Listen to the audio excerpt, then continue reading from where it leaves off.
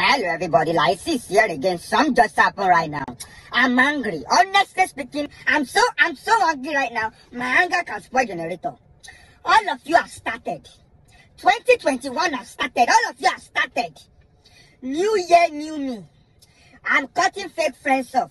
I'm cutting them like cut them off if you want to cut them off. I stop disturbing us. New year, new me. There will never be a new you. I keep telling you. You are the same yesterday, today, and forever. You are a criminal. Look at your brown teeth.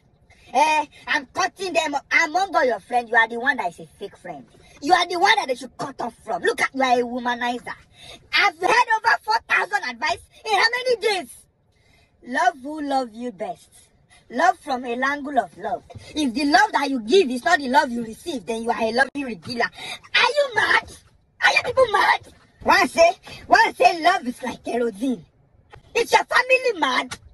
One said, it's who love you that you catch a bullet for. Who is catching a bullet for your father?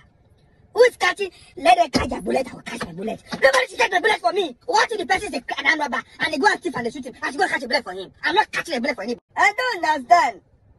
One said, it's the love that you return that can never come around. How? How? How? Are you people mad?